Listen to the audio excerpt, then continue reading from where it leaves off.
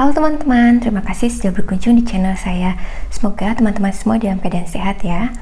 Beberapa waktu yang lalu, ketika saya memposting video ini, salah seorang subscriber meminta saya untuk membuatkan desain home office. Karena di masa pandemi COVID-19 ini, beliau mesti working from home.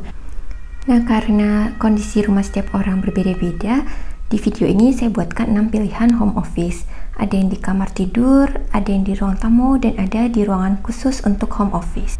Dan demi tetap sehat di saat working from home, saya ada tiga tips. Yang pertama, istirahatkan mata dari layar setiap 20 menit selama 20 detik.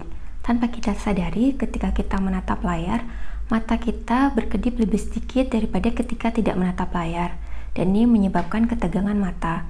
Oleh karena itu, ambil break setiap 20 menit selama 20 detik dengan melihat sesuatu yang jauh dari mata kita.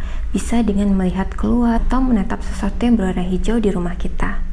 Kita bisa pasang alarm setiap 20 menit untuk mengingatkan kita melakukan istirahat dari layar. Yang kedua, bergerak dari layar setiap satu jam.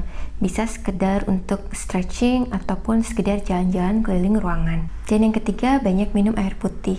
Sebaiknya kita sediakan selalu air di meja dan demikian dapat menghindarkan kita dari dehidrasi dan juga memperlancar peredaran darah.